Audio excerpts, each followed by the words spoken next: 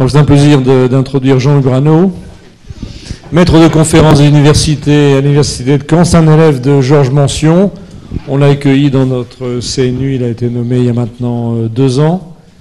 Jean, il a un peu une âme de missionnaire, euh, il relève le défi à Caen, et euh, je dois dire qu'il est aussi passé par le secteur libéral, et donc il a un panorama complet de la pratique professionnelle. Voilà. Jean, donc il va essayer de... Alors moi je pensais que depuis 50 euh, ans qu'on fait des extractions pancréatiques, si on avait trouvé un mode d'anastomose qui était meilleur qu'un autre, euh, ça se saurait. Mais apparemment, lui, il a peut-être trouvé une solution. On va le voir. Alors, pas tout à fait, sans doute pas aussi simple. Alors, monsieur le président de l'Académie, mesdames et messieurs, c'est mieux?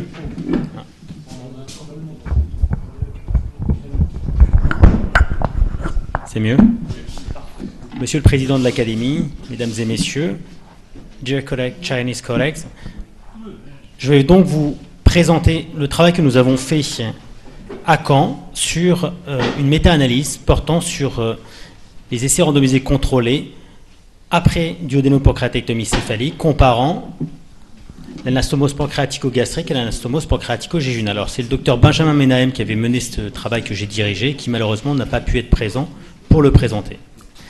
Alors vous le savez, la duodénopancréatectomie céphalique est le seul traitement curatif des tumeurs malignes de la région euh, périampulaire.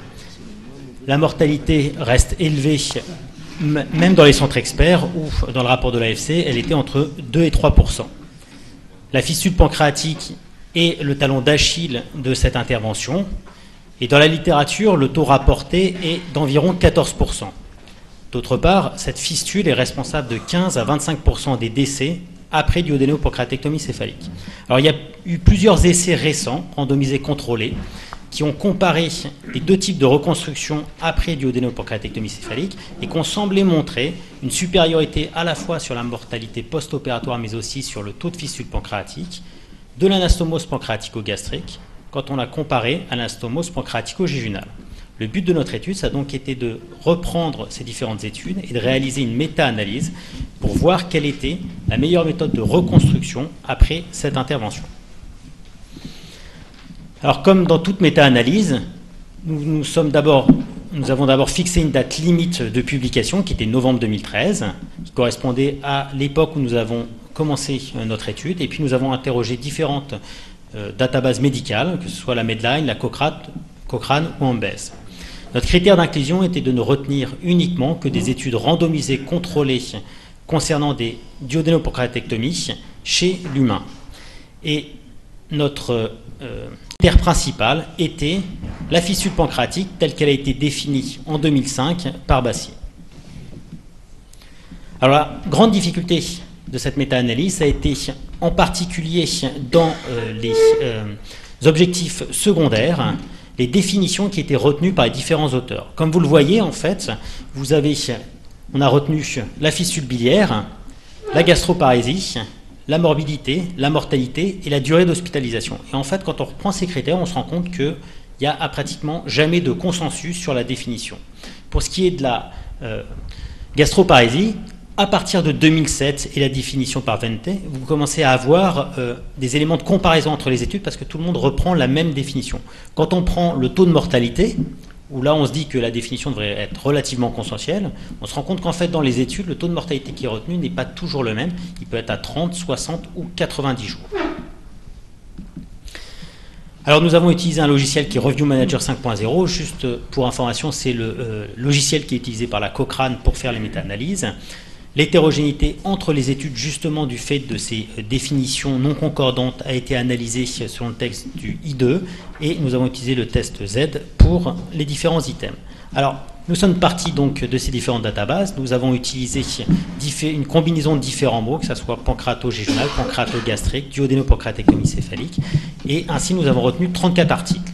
Sur ces 34, 24 ont été exclus. Soit c'était déjà des méta-analyses, soit c'était des revues de la littérature, soit c'était des études rétrospectives. Il est resté 10 articles, dont 3 ont été exclus car ils concernaient des études non randomisées. Et finalement, nous avons retenu 7 études sur les 34 articles. Alors quand on prend notre objectif principal d'étude, qui était la fistule pancréatique, on se rend compte que si on regarde les résultats de la méta-analyse sur ces sept études randomisées contrôlées, il y a une nette supériorité de la pancréatogastrique sur la pancréatogéjunale.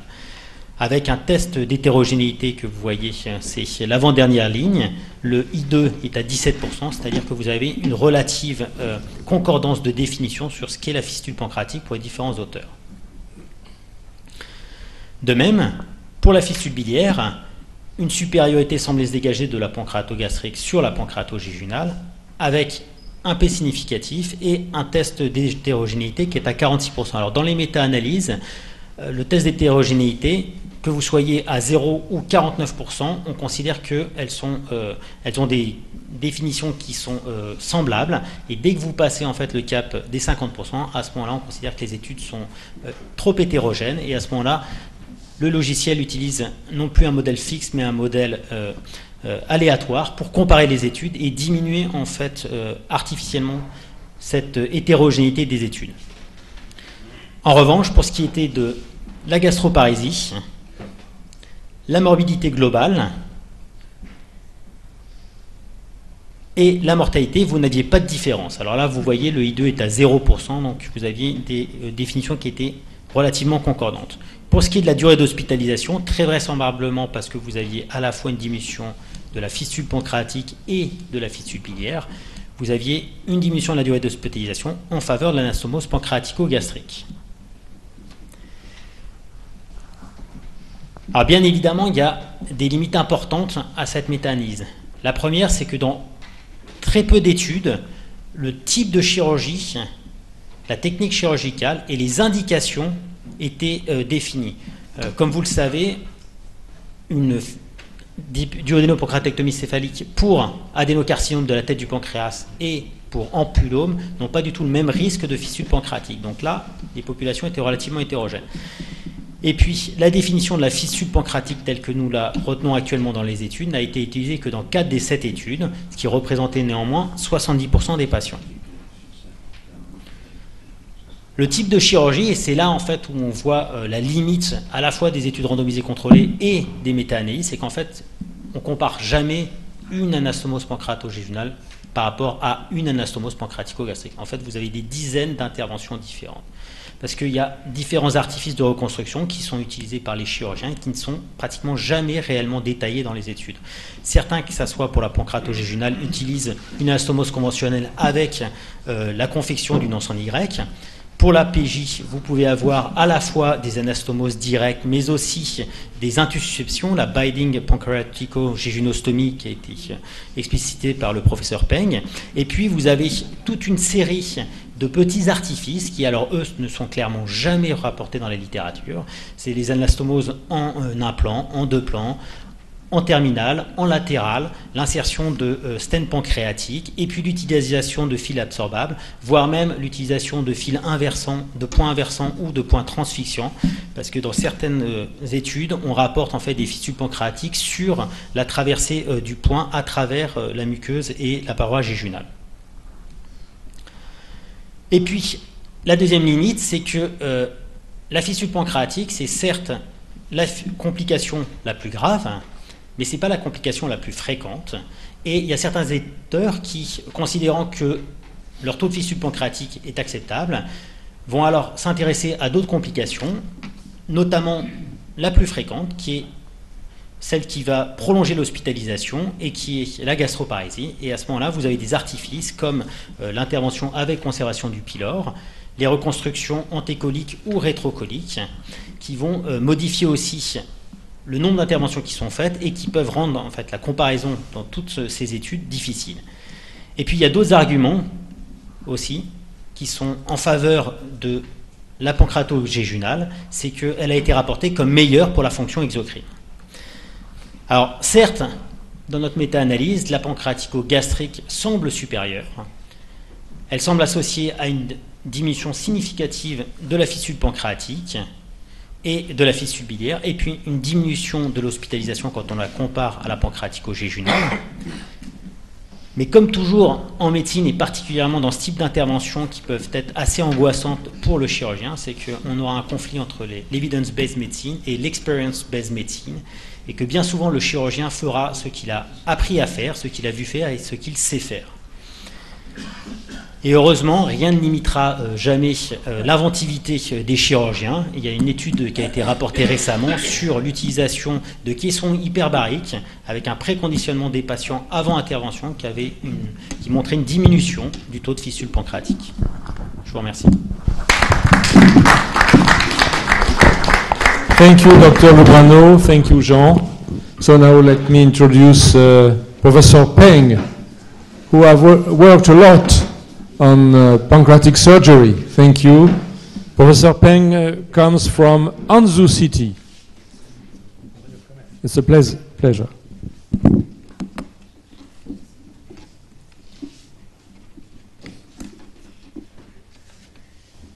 Good afternoon.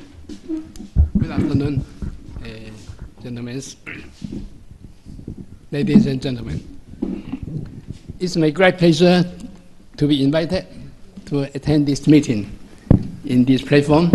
is really privileged. Yes. And the, uh, although I, I can't understand French language, but uh, I was given the abstract. So I'm an honor to be here to uh, make some comment, comment. In order to let the, the time is limited, so may I read my text, my script, is to just to save time. Pancreatic gastrotomy, PG, anastomosis was first reported by uh, Wall and Cloggett in 1946. However, it is used less frequently until several randomized trials and meta, meta-analysis were published, suggesting that PG was associated with a lower incidence of anastomotic failure than PJ. So I'm very interested to hear the, to, to listen to the, to, to the presentation and the uh, numerous te- technical and theoretical advantages of PG have been summarized, including first, the proximity of gastric wall to the pancreas, pancreas stump and the well vascularized and thick gastric, gastric wall, facilitating the reconstruction of uh, tension-free anastomosis.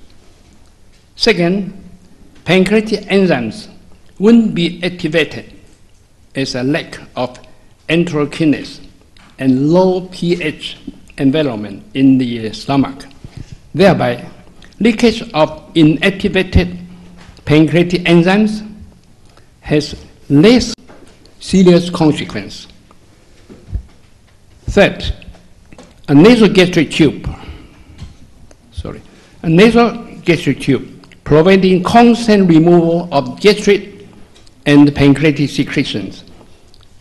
So it can decompress the tension of PG anastomosis. Fourth, postoperative complications such as pancreatic stump bleeding can be managed by gastroendoscopy. This lecture was a meta, meta-analysis that selected seven randomized control trials comparing PG and PJ, including 562 patients who underwent PG and 559 who underwent PG, So it's quite a large number. The results reveal that PG is superior to PJ in the prevention of pancreatic fistula. That's very important. And the overall, eh, sorry, and the overall mortality rate was not much difference. It was uh, an update meta, meta-analysis about RCT studies. And this, this result is, re, result is reliable and credible. So I, make, I, I am here to uh, congratulate the author. We have performed, in my team, have performed the binding pancreatic gastrotomy in China since 19, uh, uh, 2000, two, no, no, 2009. So far, we have accomplished more than 300 cases. The clinical results were also very encouraging. So here, may I have uh, only a few questions to ask. How do you think about the invaginating method and duct to mucosa method, or PG?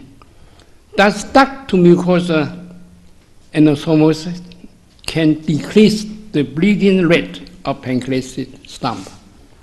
Just to compare. The second question is, uh, I don't know, how many cases of PG have you performed? Did any, any the, the pancreatic duct occlusion occur? And uh, lastly, you just mentioned about the exocrine. Exocrine's function after P, uh, PJ is much better than PG. How do you explain that? I mean, do you find any the, in the long term, in long term the result? Did any, do you find any the uh, atrophy of the pancreas stump? Thank you very much.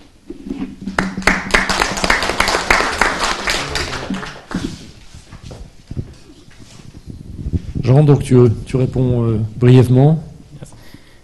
Thank you very much. I could answer for the last question. Uh, effectively, um, pancreatic exocrine uh, function is better after um, PG than uh, uh, PG. Uh, I could not explain why. Uh, the explanation in the literature is that um, uh, acidity, gastric acidity inactivate uh, secretion after uh, of pancreatic uh, stump.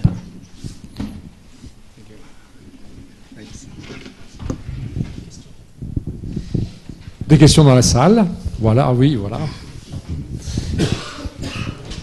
Alors, Bernard Launoy qui a coiffé d'une tête notre second collègue. Félicitations pour ce travail. Euh, vous avez raison d'insister sur la technique chirurgicale de la stose pancréatico-jéjunale. Elle me paraît effectivement très importante. Mais vous n'avez pas parlé du stent.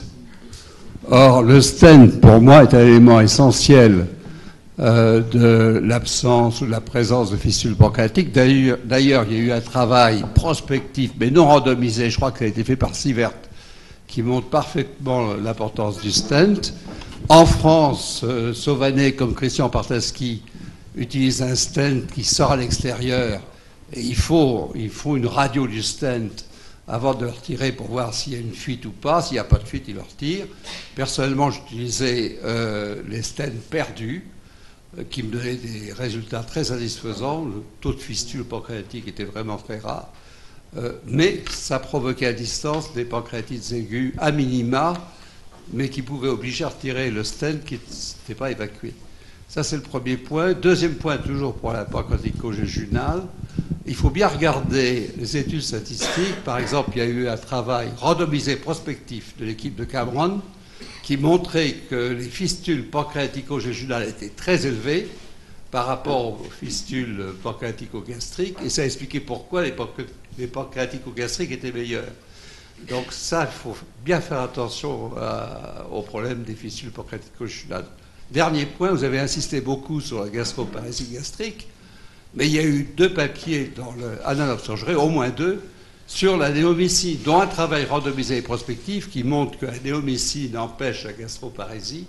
Et le second papier montre que on n'est pas obligé d'utiliser des doses fortes, qu'on peut utiliser des doses basses, et qu'il est par contre nécessaire de garder, euh, quand on fait une, une préservation pylorique, de garder le pédicule euh, gastro-épiploïque si on veut avoir une bonne fonction pylorique. Jean Lebrano, puis après Jean-Louis Rébarbière.